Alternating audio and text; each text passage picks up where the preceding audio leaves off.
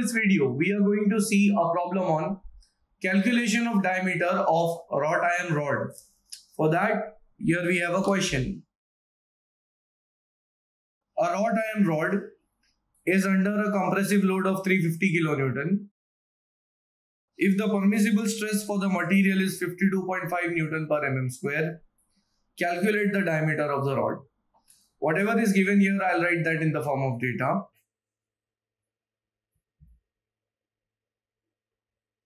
Now, here it is given a wrought iron rod is under a compressive load of 350 kilonewton.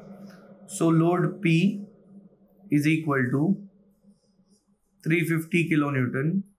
So I'll convert it. It becomes 350 into 10 raised to 3 newton.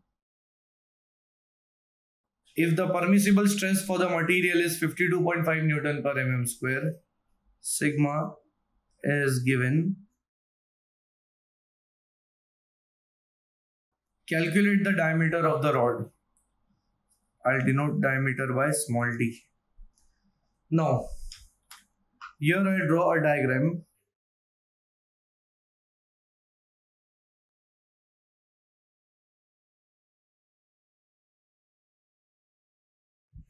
We have a rod here which is made up of wrought iron. This is the axis of the rod and it is given in the problem that a wrought iron rod is under compressive load.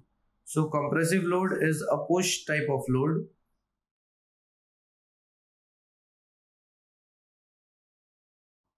which is trying to compress this rod. Now, when the compressive load is acting, then there are chances of the length to decrease and diameter to increase.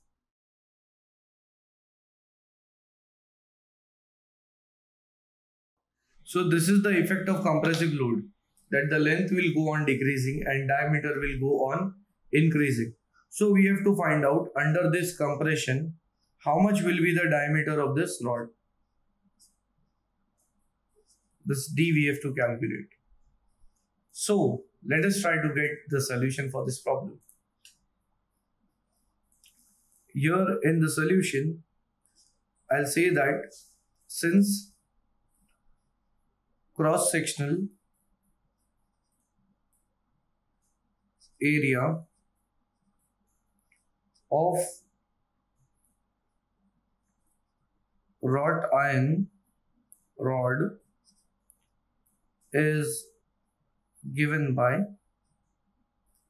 it is under the action of load and the cross section area under this action of load here we can see d is the diameter. So area is pi by 4 d square.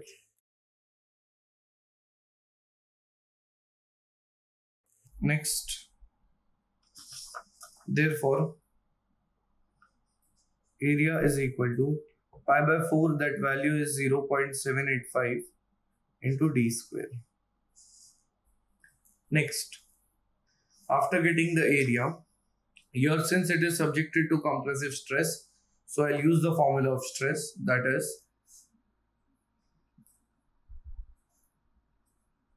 since compressive stress induced in the rod is given by compressive stress is sigma c and that is equal to load upon cross-sectional area.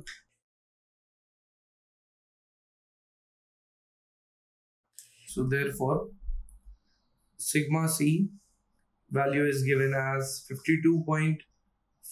This is the compressive stress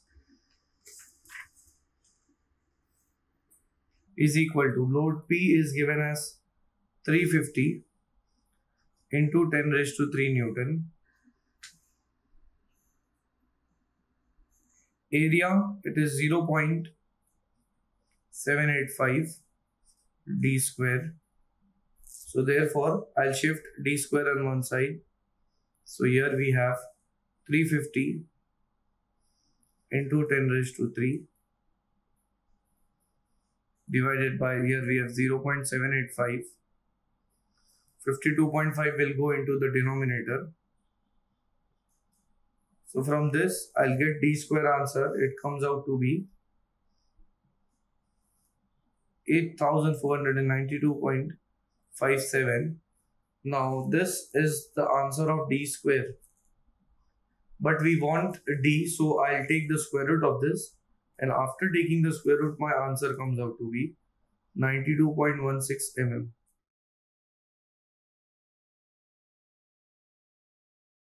So this is the answer. Now if we look into the question, they were saying to calculate the diameter of the rod. And this diameter of rod we have found out. It is 92.16 mm. So the cross section will be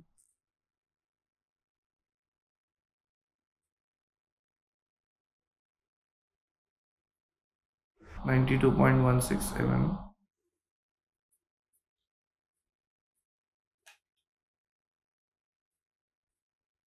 So this is the cross section area of the wrought iron rod.